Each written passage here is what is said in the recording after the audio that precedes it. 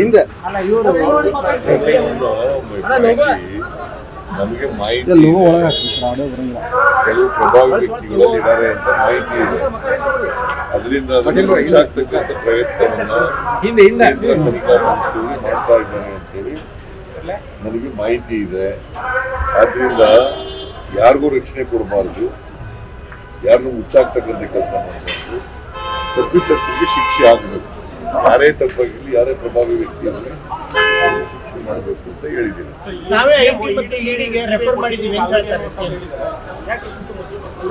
ಹಂಗಿದ್ಮೇಲೆ ಇಷ್ಟು ದಿನ ಏನ್ ಮಾಡ್ತಾ ಇದ್ರು? ಇಡಿಗೆ ರೆಫರ್ ಮಾಡಬೇಕಂದ್ರೆ ಸಮಥಿಂಗ್ ಅಂತಲ್ಲ.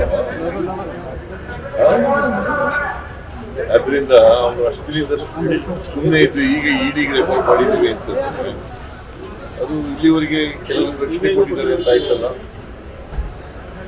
ಅದಕ್ಕೆ ಗೊತ್ತಿಲ್ಲ ಬಟ್ ಇದು ಮಾಹಿತಿ ಕಲೆಕ್ಟ್ ಮಾಡ್ತಾ ಇದ್ದೀನಿ